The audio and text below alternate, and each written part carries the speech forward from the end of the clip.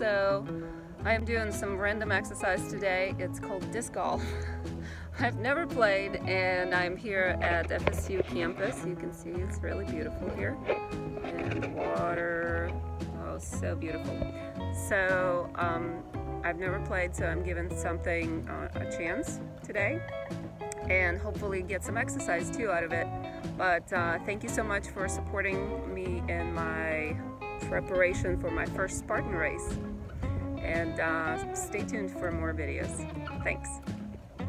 This is the disc golf disc, I guess, and this one is putt and approach disc, but um, I'm still learning today, and I'm still trying to get that one right there. And uh, I don't know, you're supposed to like throw your whole body out of it or something.